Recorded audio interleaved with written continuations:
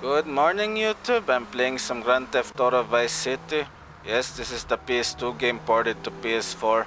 It's only 5 gigabytes so it doesn't really take up much space and I keep this game around in case, you know, my multiplayer games are really tilting me that day so that I can just find a car like this one and then just drive around uh, the city without a care in the world. And I think it's also the perfect time to make another live commentary since you know my my upload cycle is uh, done that cycle. And before I restart the cycle I usually uh, shoehorn in a live commentary in there. And uh, it's almost 5 a.m. where I am. It's a weekday in Europe so you know there's not that many people playing Battlefield 4 besides Battlefield 4 is a 7 year old game so there's not that many people playing it uh, either.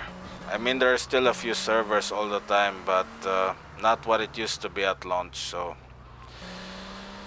I decided to just hop on uh, Vice City instead and uh, have an update video on why my uploads have been less frequent the past week. It's because I've been cutting down on my multiplayer games I instead uh, played more uh, single player games like Outer Worlds which I finished.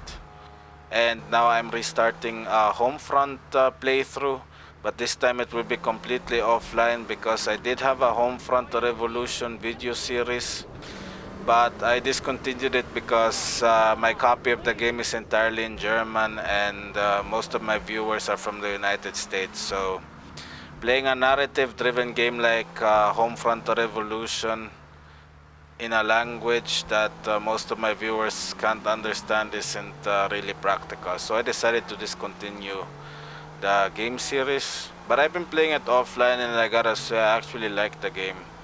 It's not groundbreaking by any means, but it's not a horrible mess either, as many people claim it is. It's uh, basically a Far Cry clone, a decent one in my opinion, set in an urban setting. And uh, if uh, if you look at it that way, it's actually a pretty decent game. I mean, it was horrible and uh, filled with bugs at launch, but the developers uh, actually patched most of them out. So oh, I don't experience many bugs in, anymore. It's usually just clipping issues and uh, frame rate drops.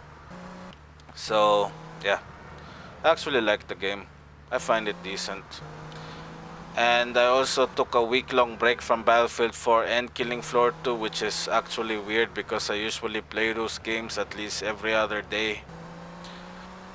And uh, I took a break from them and I gotta say I think that was a good idea because I was really getting fatigued on both games before I took a, a break. Every single inconvenience really pissed me off irrationally so I think taking a break was actually a wise decision because I'm actually starting to miss those games. So I'm gonna start replaying them.